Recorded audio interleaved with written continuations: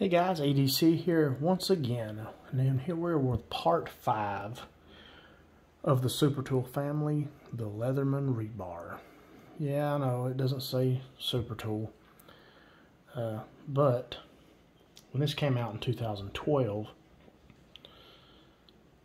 that's what it was marketed as, is this a small Super Tool. This Super Tool 300 had those had replaceable cutter plier head. Well, this was the first tool of the four inch in the four inch range that uh, had replaceable cutters. Nowadays, you have the Charge Plus and the Wave Plus, and they have basically the same plier head. It's just been ground down to look more like uh, a regular uh, what the plier head looked like on maybe a blast or a second generation wave, second generation charge, or first generation charge. Well, I have actually one of these to show. This is what they, uh, the Charge Plus, you know, this is basically the same plier head. It's just been shaved down ground down and smoothed out. Oh, and I do have a, another charge over here. I forgot about that. That, this is the other plier head I was talking about. That plier head. So that is what was on all the other 4-inch tools at the time when this came out. It has basically this. It's got a serrated blade. Um, of course, it's got can opener and wire stripper on the can opener. Phillips head, square uh, square Phillips head. That way you can use it with the removable bit driver. Has a wood saw, a double-sided file, that lanyard ring, medium flat driver, and large flat driver and an awl, and a plain edge blade. I think the only thing that this one doesn't have that the Super Tool has probably is the uh, fine flat driver. It has everything else. And uh, I'm sure they could have fit it in, but they didn't. You know, there's plenty of room to fit something in there. And I'll talk about that later, but that that's sort of wasted space, that little lanyard ring. Unless you use a lanyard ring, then it's great. They came out with the rebar in stainless. I'm pretty sure there's no cap crimper versions of these. So they have stainless, black oxide, same tool set. There was an olive drab uh, jungle var variation. It had olive drab handles and stainless olive drab here and uh, stainless tools. Did not get one of those. Kick myself now because you can never find them. But this is the Coyote Tan one. I think it's a Cabela's uh, exclusive. I'm not exactly sure. You may be able to buy it from Leatherman themselves as well. Black oxide tools and then the Coyote Tan handles. Really durable finish. Nice, nice tool. I have, I bought this one from Cabela's and then I think I ended up buying another one cheaper on eBay because it was mis, mis uh, labeled. Maybe I'm thinking it's a buy it now and I bought it and got a pretty good deal on it. And I've also, as I did with the Super Tool 300, I have modded a few of these tools, color swapped them. Um, stainless handles and then black oxide everything else. And then I've got the other one over here, opposite, with a kick clip on it. I put that, changed out the uh, pivot to a kick pivot and added the clip from the kick. Made a nice clipped tool. And then also I redid all the tools in this one. And, uh, oh, there's also a version, uh, a knifeless version, that has scissors. Well, mine's not knifeless. It has scissors. So I added scissors in and reconfigured the uh, tools a little bit. And I added, the only thing I lost was the lanyard ring.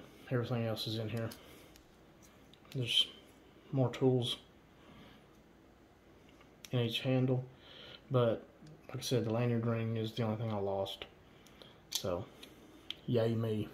Uh, I don't know if I'm in frame. Yeah, all the tools. But yeah, uh, they're very moddable. The uh, tools from the internal tools of the Wave, the whole Zytel series, the Blast, the Fuse, the Kick, all those are interchanged with the rebar if you ever want to mod anything. And disclaimer, if you mod it, you forfeit the warranty, so you've been warned.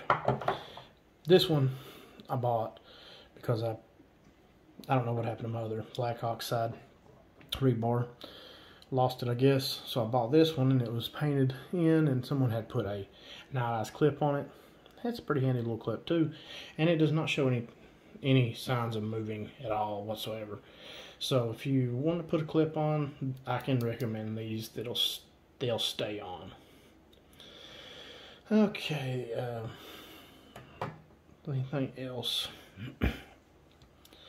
yeah, the the rebar. Uh, sorry, hit the camera. Uh, the rebar is uh, I, I in 2012 when these came out, I bought one immediately and uh, never looked back. I mean, it's a small super tool. It's it was lighter weight, you know, good in hand. It has the rolled edges, the cutouts like the Super Tool 300, uh, the lock tabs. I mean, it's it's a Super Tool 300 downsized. I mean, they're just it's its baby brother, just like the PST is to the Super Tool and the uh, pulse is to the uh, Super Tool 200. Um, uh, the blast in the, is sort of like a the middle child, I guess, of the Zytel family. Uh, it doesn't really, there's no really, in the Zytel series, nothing that is actually a mini Super Tool, I guess. They were smaller versions with less tools, I guess. I guess that would be a fair comparison. A blast, a fuse, or a kick to a, uh, core. But uh, this one, direct, direct comparison. Alright guys, uh, this is the last part in the series. I hope you've enjoyed them all. Uh, I don't know if I said this is part 5, I guess. But uh, I got this Cabela's exclusive. Never seen one with Cabela's wrote on a rebar. Doesn't come on the Coyote Tan one. But uh, it's very, uh, a very good tool. And I used, uh, from 2012 to about 2018, I used a rebar a lot. Only did I switch when I bought a uh, black oxide charge, but I used a stainless, just stock rebar for three or four years before ever messing with one, and I never had any problems with them, except that I lost my first one. You know that, and then that that week I ordered another one because I couldn't be without it. I carried the Super Tool 300, uh, you know, while I was waiting on the rebar to come in the mail, and I do still carry a Super Tool occasionally uh, if I'm gonna do some heavier duty stuff. You know, just because they're nice tools too, but the rebar, because of its size, beat out the super tool in my pocket. And then, of course, I added clips and stuff, and I made them even more carryable. So I carried them weekends and all. But uh, there's also a, a, Wrangler edition, I think. Uh, it's, a, it's a stock tool set. And uh, but it's like bronzy, I think. And then I, I, I, did mention earlier that there's a knifeless rebar. It has no serrated blade and no plain edge blade, but it does have scissors. So, as for parts of the world, I guess that frown upon knives, different areas, you know, uh, frown upon knives, so they helped with that. Of course, in some countries, you know, the laws are so strict that even an awl or scissors would deem it illegal. So there's that. But uh, I don't get political in none of the knife carrying stuff. I can carry anything here in the great state of Tennessee. um, I, I, I, I think they rescinded most knife laws back in like 2014 or something. I can I could walk down the street with a machete if I wanted to. But uh, anyway, rebar, Leatherman rebar. It's a uh, the baby brother to the Super Tool 300 and the last in the series of the Super Tool family until they bring out another tool. Um, like, subscribe, um, comment, guys. You know, I can mess up while I'm rambling on. Correct me if it needs to be.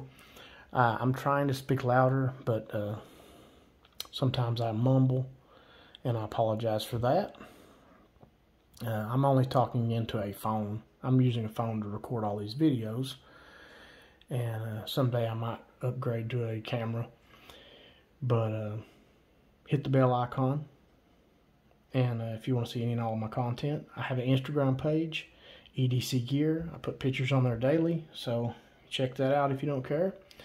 And then also I give a shout out to my forum family, multitool.org. I'm Poncho65 on there.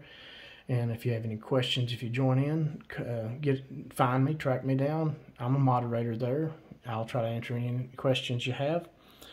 And uh, also, guys, uh, the Leatherman Collector Club, I'll give them a shout out. And uh, there's a Facebook page for multitool.org as well. And uh, Leatherman Tool User Group. Great bunch of guys there. EDC Cooperative and EDC Royalty. Great groups.